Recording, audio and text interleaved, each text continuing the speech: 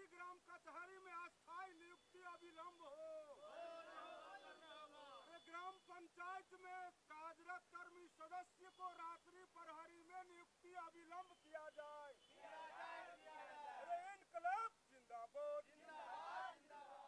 आप देख रहे जनबोल न्यूज़, मैं रवि कुमार। अभी मैं धरना स्थल पर हूँ, पटना के।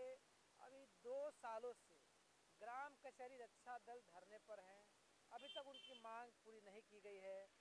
आइए बातचीत करते हैं, क्या कुछ कह रहे हैं धरनार्थी जी, दो साल से हम लोग लगातार धरना पर सर बैठे हुए हैं, जो कि चूँकि अड़तीसों जिला में, सूबे बिहार के अड़तीसों जिला में तिरासी सौ छियासी ग्राम पंचायत के अंतर्गत ग्राम रक्षा दल के जो सदस्य हैं 2001 से ही अपने अपने पंचायत में रात्रि प्रहरी करने का काम करते आ रहे हैं, एवं तिरासी सौ छियासी ग्राम कचहरी में सरपंच साहेब के आदेश पर जो पंचायत में कोई आपराधिक मामला होता है, उनका नोटिस पहुँचाने, तामील करने का भी काम हम लोग करते आ रहे हैं।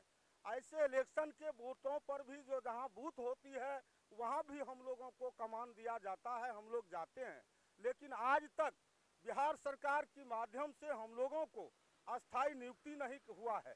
और ना ही हम लोगों के पास फूटी कौड़ी का इंजाम किया गया है, सर। इसलिए हम लोग गर्दनी बाग के धरना स्थल पर अपने बैनर तले बैठे हैं, जो हम लोगों को न्यूनतम मान मजदूरी एवं ग्राम कचहरी में अस्थायी नियुक्ति किया जाए। हाँ आश्वासन ये मिल रहा है, आपके माननीय पंचायती राज मंत्री कपिल देव कामत जी के माध्यम से, जो हम लोग, आपका जो काम है, ये काम हम बहुत अविलंब कर, करेंगे।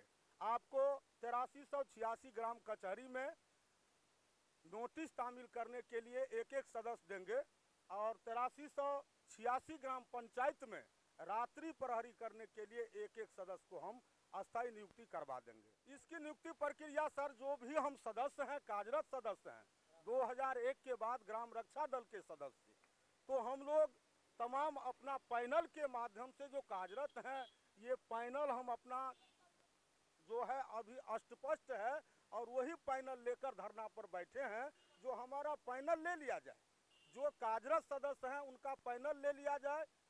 और यहाँ जो प्रदेश अध्यक्ष हम राम प्रसाद पंडित हैं संघ के तो हमारे रजिस्टर्ड के मुताबिक क्रमांक संख्या मिलाकर और तमाम ग्राम कचहरी और पंचायत भवन पर हम लोगों को अस्थायी नियुक्ति कर दिया जाए। अभी तक रजिस्टर हमारा लिया नहीं। ले नहीं नहीं ले रहे हैं। जी बोल तो रहे हैं जो हाँ हाँ। जो हम आपका रहे लड़का, आपका पैनल आपका पैनल से ही होगा। ये सरकार अभी पंचायती राज मंत्री माननीय कपिल देव कामत जी हमको आश्वासन दे रहे हैं। वैसे बहुत से आपका आपदा मंत्री श्री लक्ष्मेश्वर रहे हैं, बिहार सरकार में है। उन्हें भी हम ये भी आश्वासन दिए हैं जो आपका काम होगा। ये इन्हीं लोगों के आश्वासन के माध्यम से। ये कोई नहीं कह रहा है जो किस डेट को होगा। और हम लोग भी इन्हीं के इंतज़ार में अपना धरना स्थल पर इतना ठंड में भी कड़ाके के ठंड में भी बैठे हैं। और हम लोग उसी आश्वासन में हम लोग अभी बैठे हुए हैं।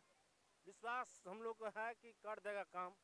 और काम कर देता है तो हम लोग जो है, जो भी कहेगा उस सरकार उसके माध्यम से हम लोग चलेंगे। और उतना ही नहीं, सरकार का जो है, मूर्ति रख के अपने घर में जो घुसे हैं, उसके बगल हम लोग पूजा करते उससे पूजा करेंगे। और हम लोग को उच्च न्यायालय के माध्यम से भी, पटना उच्च न्यायालय के माध्यम से भी क्या कहते हैं, नोटिस गया है और हम लोग को तामिल हुआ है। ये नियुक्ति जो आप सर कहें तो ये संविधान के तहत है। जो पंचायती राज एक्ट के मुताबिक 2006 में पंचायती राज लागू हुई और जब पंचायती राज लागू हुई तो उसमें पहले मुखिया का भी, सरपंच का भी, वार्ड सदस्य, वार्ड पंच का भी सर पेमेंट नहीं था। लेकिन उनको चुनाव आयोग के माध्यम से, पंचायत के स्तर से बिहार सरकार इनकी तनख्वाह दे रहे हैं और इनका मान्य मजदूरी दे रहे हैं। तो संविधान के तहत तो हम ग्राम रक्षा दल के भी सदस्य हैं।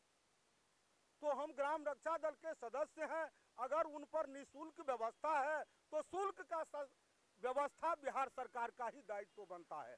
ये हमको, ये जो शुल्क है, मानदेय है, वो बिहार सरकार के मंत्री संतरी से भी अपील हम करते आ रहे हैं।